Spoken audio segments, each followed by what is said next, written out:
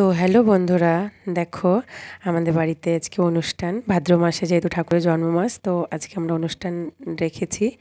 তো মা দেখো কত সুন্দর ঠাকুরটাকে সাজিয়েছে, খুব সুন্দর সাজিয়েছে, সবাই বলছিল, আর দেখো যতটুকু পারব চেষ্টা করব অনুষ্ঠানটা দেখাতে তোমাদের।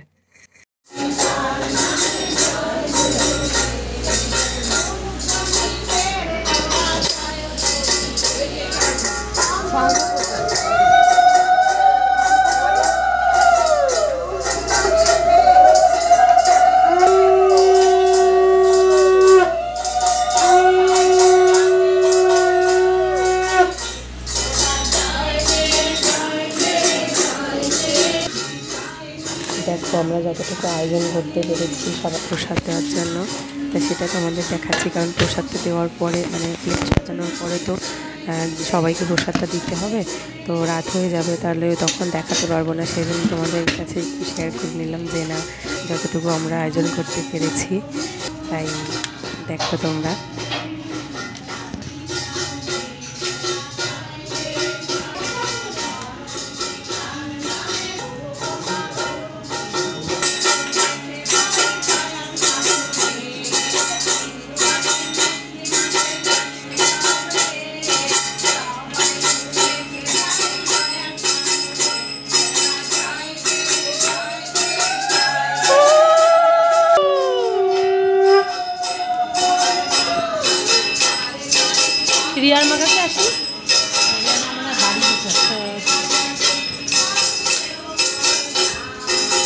এই একটু গায়ে পাঠাই এত সুন্দর একটা জিনিস যদি না ছাড়লে হবে?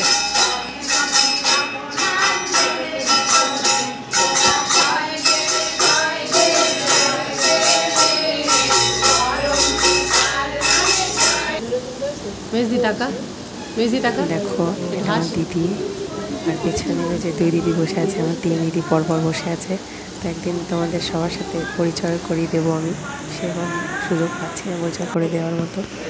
দেখো লোক পরে আরও অনেক লোক হয়েছিল। মানে খুব আনন্দ করতে পেরেছি কালকে। এতটা আনন্দ করতে পেরেছি আমরা নিজেরাও ভাবতে পারি যে এত লোক হবে। কারণ বৃষ্টি বৃষ্টি ওয়েদার ছিল দুই, তিন দিন ধরে তো সেই জন্য। আর এখানে দেখো দিদিরা গোছাচ্ছিল প্লেট প্যাকেট ট্যাকেট গোছাচ্ছিল। এবার গিয়ে একটু বদমাশি করছিলাম আমি। দিদি তাই আমার উপর একটু রাগ দেখাচ্ছিল। আবার হাসছিল, এই চলছিল। কারণ কাজের মাঝে একটু আনন্দটাও দরকার, তাই না? সেই জন্য একটুখানি বদমাশিও করছিলাম আমরা। তাহলে দেখেন মানুষকে উদ্বুদ্ধ করতে পারে মানুষকে প্রেরণা দিতে পারে। তাই এক দাদা বলছিলেন আমাদের অনেক ভালো শিল্পী ছিল। এই দাদা নামটা বলছি? হ্যাঁ অনন্ত মিশ্রতা বাস্তব কথা তিনার জীবনে তিনি সর্বপ্রথম ঠাকুর বাড়িতে যখন যায় ঠাকুরের কাছে নিবেদন করেছে ঠাকুর আমার সংসারে অনেক লোক আমি কি করে চালাবো? আমি কি করে চলবো? ঠাকুর সহজভাবে বললেন, ইঞ্জিন দেখেছ, রেলগাড়ি দেখেছ? আমিও তো বলি, সেই ইঞ্জিন এই প্রেরণা দিয়ে ঠাকুর উদ্বুদ্ধ তো দেখো ঋতিক দাদা বক্তৃতা দিচ্ছিলেন। তা এই একটু ভয়েসটা দিতে হচ্ছে, কারণ আমি এটা মাঝখানে দেখো, একটু আনখির বদমাইশি দেখো কি করছে। ওটা তুলতে পারিনি, কারণ রেকর্ডিংটা করতে পারিনি। আর আনখি বদমাইশি করছিল বলে ওদিকে একটু দেখিয়ে নিলাম তাই। তো যাই হোক, এবার চলো দিদিদের ওখানে নিয়ে যাই, ওরা কী করছে দেখি। দেখো কি করছেন। ইনিও গোছাচ্ছিলেন এখন দেখি একটু ফোনে এসে গল্প করছে তাই। আবার এদিকে দিদির সাথে একটু দিদির পেছনে লাগছিলাম। চলছে, বদমাইশি, আনন্দ সবই। আর একজন দাদার বক্তৃতা দিচ্ছে এখানে। এই দাদা খুব ভালো করে বক্তৃতা দিচ্ছিলেন। তা, দেখো কিন্তু ভিডিওটা ভয়েসটা উঠাতে পারিনি। দেখো। পঞ্চাশ পয়সা স্থিতি করি, এটা কি এখন চলে? আমি বলছি কি, দাদা, আপনি যে পঞ্চাশ পয়সাটা স্থিতি করেন, এই পঞ্চাশ পয়সা কি কোনো মার্কেটে একটা লজেন্স হয়? বলে, না, তা তো ঠিক হয় না। তা আপনার মনে কি হয়? আমরা কেন বলতে, আপনার মনে যদি হয়, আমার এই পঞ্চাশ পয়সাটা স্থিতি করা যায়, তাহলে আপনি করবেন।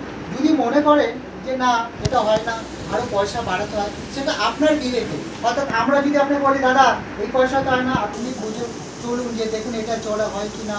সেটা আমাদের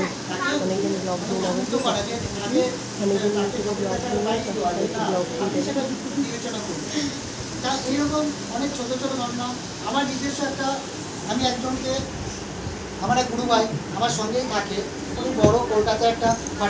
তো আমি প্রসাদের গোছানোর এখানটায় এসে ভিডিওগুলোর ভয়েস স্কিপ করে দিচ্ছি একটাই কারণে। কারণ ওরা প্রসাদগুলো গোছাচ্ছিল আর আমি এসে পেছনে লাগছিলাম দেখো কি করছে। দিদি ওদিকে প্রসাদ টসাদগুলো গুছিয়ে দিচ্ছে আর ওদিকে আমাদের আর এক দিদি রাখছিল আর দিদি পেছনে লাগছিলাম বলে দেখো কি করছে। দিদি আমাকে বলছে মারবে। তো এই সব করছিলাম। আর একজনের পেছনে লাগছিলাম। এবার সব হাসাহাসি এই চলছিল, তাই জন্য ভয়েসটা দিতে পারিনি মানে এতটাই আর কি মারছিলাম। এটা আমার জামাইবু বসে আছে খাটের উপরে। প্রসাদ গোছানো দেখছে বসে বসে। আর দিদি আমার দিকে একটু রেগে রেগে তাকাচ্ছে হালকা হালকা। এই মানে অলমোস্ট গোছানো প্রায় হয়ে গেছিল মানে এগুলো সব আধা দেওয়া হয়ে গেছে, তারপরে এগুলো চলছে, দেওয়া, গোছানো হচ্ছে।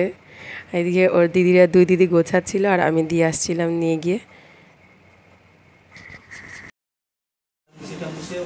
আজকে চেহারা স্কিপ খুব খারাপ অবস্থা।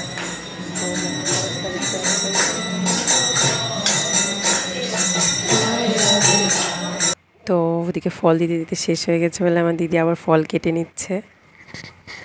আমি এবার রীতিদাদের জন্য প্যাকেটগুলো গুছিয়ে ওনাদের দিতে যাচ্ছি প্যাকেটগুলো। তো হ্যালো বন্ধুরা, আমি মানে আজকে এই ভিডিওটা শ্যুট করছি পরের দিন সকালে। কালকে আমাদের বাড়িতে অনুষ্ঠানটা ছিল। এবার কালকে এতটাই মানে ক্লান্ত হয়ে গেছিলাম, সবাই মিলে খাটাখাটনি পড়ে গেছে অনেক। আজকে সকালবেলা উঠে গাত ব্যথা ব্যথা হয়েছে। তো অনেকদিন ধরে ব্লগ দিচ্ছিলাম না আমি। আর এখন ভাবলাম এন্ডটা করে ফেলি। আজকে পরের দিন সকালবেলা আমি ভিডিওটা এখন শ্যুট করছি। আর হলো কালকে আমাদের বাড়িতে অনুষ্ঠান ছিল। আমাদের অনুকূল ঠাকুরের ভাদ্র মাসে যেহেতু জন্মদিন মানে জন্ম মাস এটা সরি তো আমরা ভাদ্র মাসে সবাই যেমন পারি, আমরা হচ্ছে সবার বাড়িতে অনুষ্ঠান দেওয়ার চেষ্টা করি। তা কালকে আমাদের বাড়িতে অনুষ্ঠানটা ছিল। এবার সবটা আমি নিজে হাতে মানে নিজে হাতে শ্যুটটা করেছি তো। এবার তারপরে সবাইকে প্রসাদ টসাদ দিতে লেগেছে, ওই জন্য পুরোটা লাস্টের করতে পারিনি। যতটুকু পেরেছি তোমাদের দেখানোর চেষ্টা করেছি, তোমাদের কেমন লাগল ভিডিওটা আমাকে কমেন্ট করে জানিও। আর ভালো লাগলে কি বলব লাইক করে দিও আর চ্যানেলটিকে অবশ্যই সাবস্ক্রাইব করে দিও। যারা নতুন দেখছ বা যারা পুরনো আমার বন্ধুরা আছো ফ্রেন্ডরা আছো, তারা একটু লাইক করো কমেন্ট করে বলো কেমন হয়েছে। কালকে অনেক আনন্দ করেছি আমরা, সত্যি বলতে। প্রায় এক মানে একশো জনের কাছাকাছি চলে গেছিল, সবাই পাড়ার লোক এসেছিল, আশেপাশে সবাই এসেছিল। খুব আনন্দ করেছি আনন্দ করতে পেরেছি। আর এমনকি কালকে আমার বরের বার্থডেও ছিল, তো সব মিলিয়ে খুব ভালো গেছে দিনটা। আর আর কিছু বলব না, কারণ গলার ভয়েসও খারাপ হয়ে গেছে, আর শরীরটাও ভালো ছিল না এমনিতেই আমার। তো যাই হোক, টাটা, সবাই খুব ভালো থেকো, আর লাস্টবার যাওয়ার সময় বলে যাচ্ছি। ভিডিওটা ভালো লাগলে চ্যানেলটা সাবস্ক্রাইব করে দিও প্লিজ টাটা বাই বাই